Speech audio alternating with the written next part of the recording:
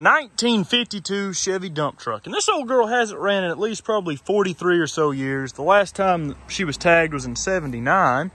And as you can see, she's a little rough. But there is a motor underneath the hood. The interior, well, we do have the uh, Spider-Man performance package here. There's two of these guys in here, but I don't think they're vicious. We'll relocate them later. We do have a snake skin in here. And that's about as far as I've looked in here. We loaded her on the trailer and she rolls pretty good. I think that's a set of spark plugs underneath the seat. No big old snakes underneath there? Guess not. Ooh, I think that's a new box of spark plugs. It is. Box is a little dry rotted, but okay, the moisture's got to these. We were going to use these, but uh, I guess not. Around back, we have good old dump bed. She is a hydraulic dump bed, unlike this cable dump bed or that hand crank dump bed on the 38. So we're moving up in the world with fanciness. And the bed's full of trash because it was sitting in a field, and I guess anything out there, you just throw it in there and you wouldn't have to worry about it. A little bit of rust here and there. The PTO's up here for the bed and it has about 70,000 miles on it, says the odometer. And this little spider dude, he runs away when you tap on him, so we'll relocate him in a minute. Underneath the hood, I do believe we have the inline six. I ain't looked her over too good yet. Let's see. Well, something's missing. We are missing plug wires. At least all the plugs are in it. That one's been broke up. Oh, is that thing stripped? I hope not. Nah. Boy, it's in there. That ain't even the right size plug. Somebody just jammed that in there, so I guess dirt daubers wouldn't get in there. A rat has started uh, to build its home in here. I don't know how they get sticks like that up in here. Well, that screw is still in there. That's handy. Huh, that's lucky.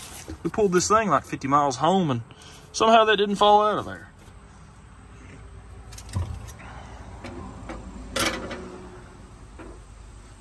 The oil don't look too bad.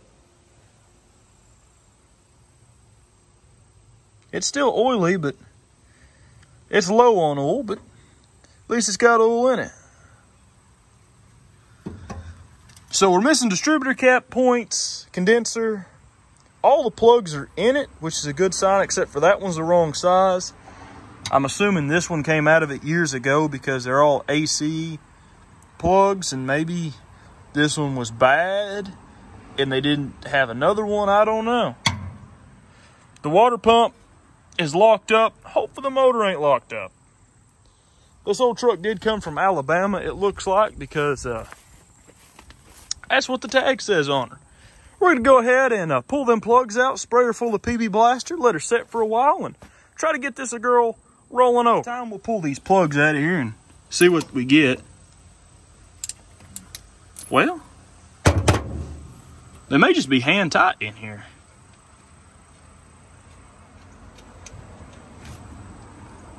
Bunch of rust on the threads, but it don't look too bad. No, I guess they ain't hand tight. Yeah, they are. That one is at least. I don't know if that's a good sign or not. Bunch of rust on the threads from them setting with out being tight. Huh. This may be the easiest spark plugs we've ever pulled out of one of these. We know this one's just sitting in there. Them are just barely hanging on in there too. The only bad thing about that is it lets moisture in, so. That one was cross-threaded. Well then, we're gonna give her some good old PB Blaster and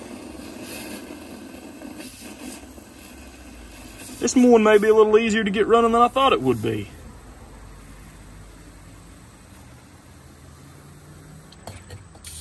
You always want to be generous with the PB Blaster because it works pretty good.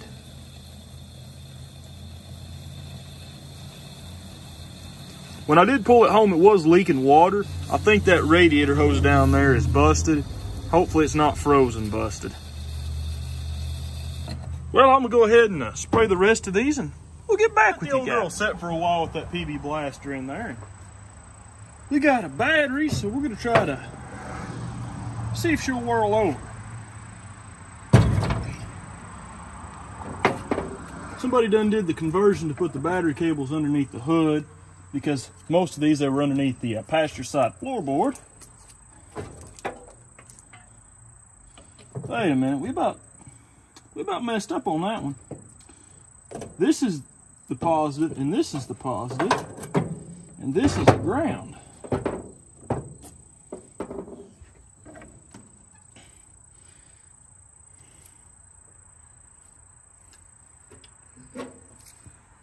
Buy another universal starter because, uh, well, universal key because I broke the other one the other day, so we got a brand new shiny one. I think she's out of gear, so maybe I won't run myself. I guess she wasn't locked up. She whirls good.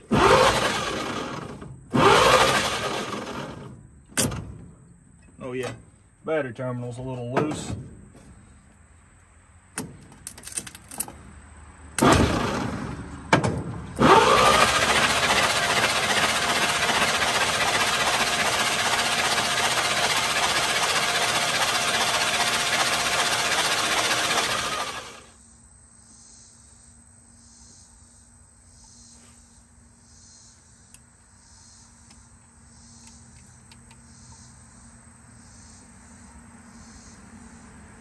I hear wires burning. Oh, it's this. That's what's burning. Okay. At least there ain't something in the cab. There. You know, we're also missing a rotor button. I don't think I took that into account. I'm not sure we have one. Huh. So we have a set of points and a condenser. These are not new by any means, but we're gonna throw them in there. I did clean them up. They've been sitting on a shelf for a long time. They came out of something else we had that uh, we had to change the points in it again because we had the wrong uh, set of points. I'm glad them little screws are in there though. That saves us a lot of trouble. Okay. Go something like this down in there. Let's see. I don't know if that screw's loose or not, but we're gonna see if we can get it jammed in there. Went ahead and got a rotor button off of another truck, so if we're lucky, I don't know. That may be too wide.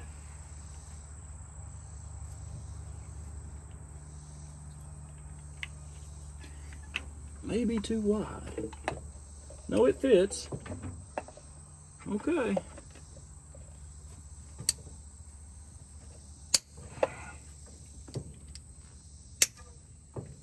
We didn't see if the points worked, but we're gonna have to hook up a, you know, a, a cool before we can really do that. Oh yeah, I better tighten them down. Knew I was forgetting some step.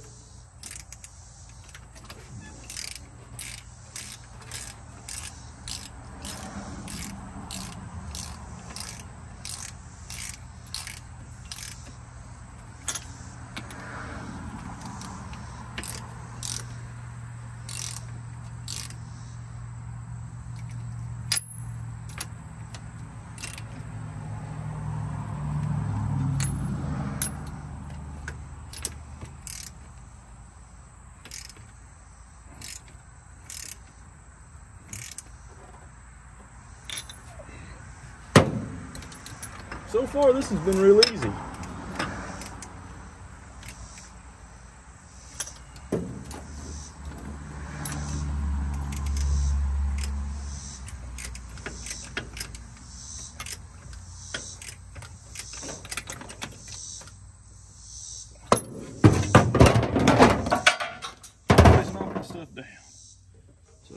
Call you one.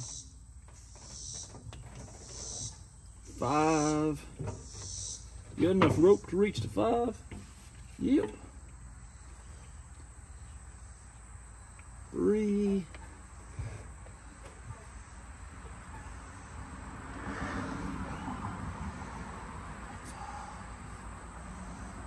Three.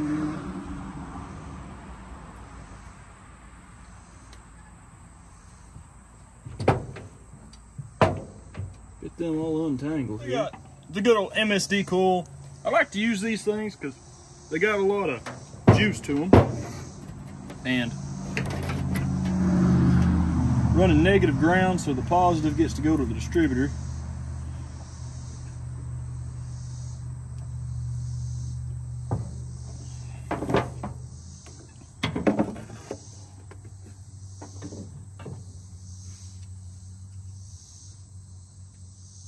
And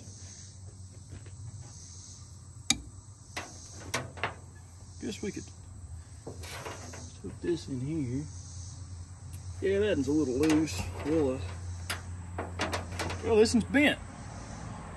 Can't win for losing on this thing.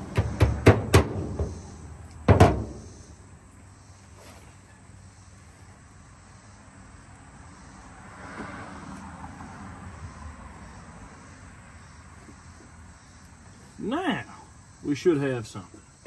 Just got a connector to the battery.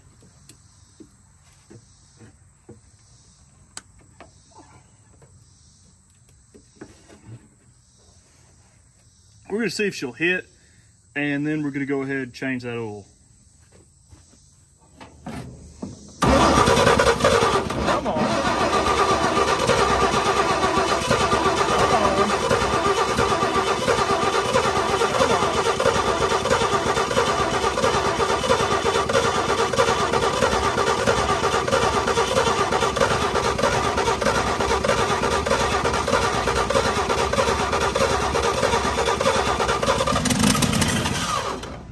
Okay.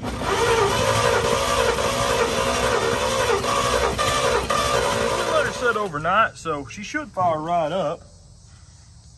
Some reason when they've been setting for a long time, once you get them cranking over and them rings moved around in them cylinders, a lot of times the next day they'll fire right off.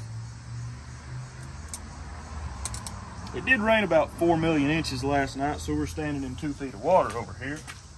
But we'll make her work.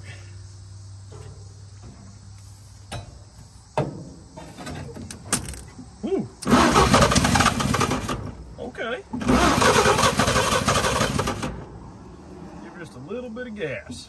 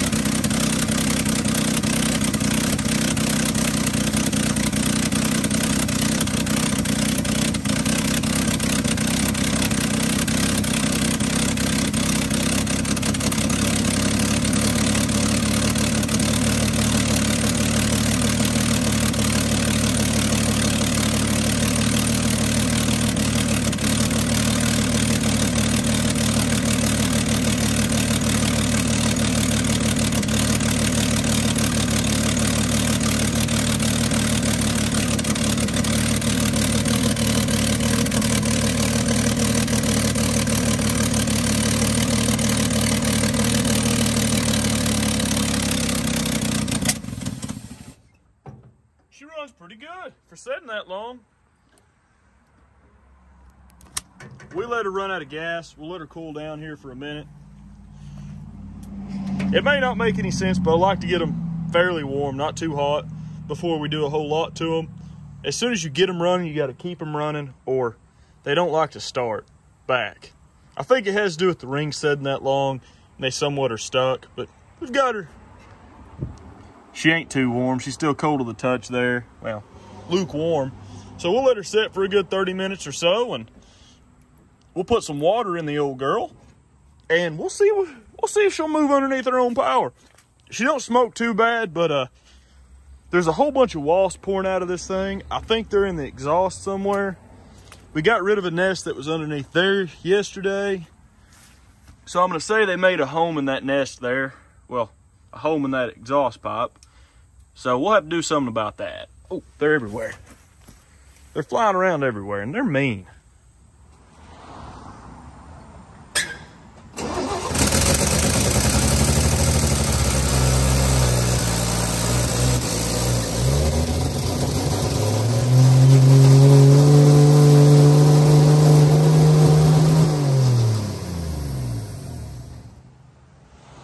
You don't want that to happen.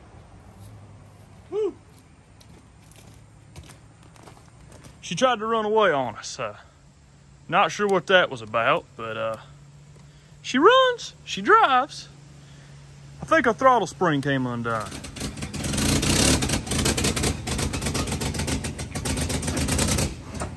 Say the technology gives me more trouble than the dadgum old vehicles.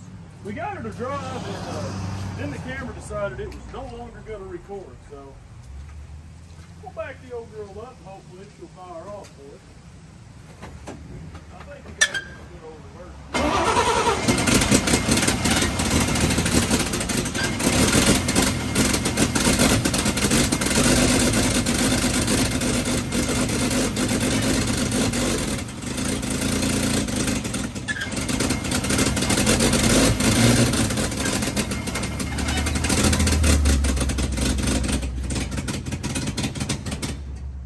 Did not come undone. It's still hooked up, so still pulling. Not sure what went wrong there, but uh, we're gonna let her cool down. The water pump's not circulating, of course, so we ain't gonna we don't run her long. We don't want to melt her down, but she runs, she drives. We're gonna see if the dump bed works here in a minute.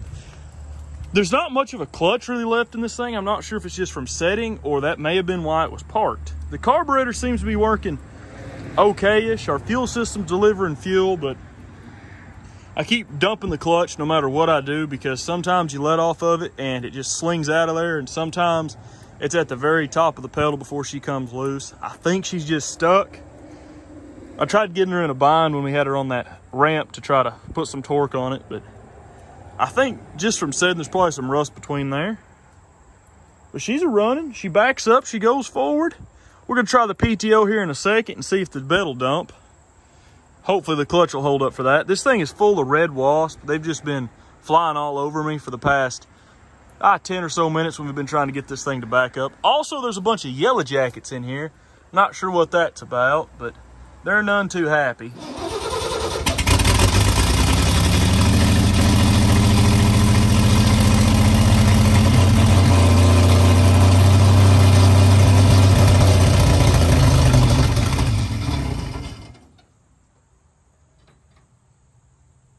Okay. We have no PTO. It seems. Up underneath here, there's the hoses. There's the pump. Where's the juice go? I don't know. I don't think it's got a place to put the hydraulic juice at. You'd think it'd stay in there after 40 something years, maybe. We'll try that again.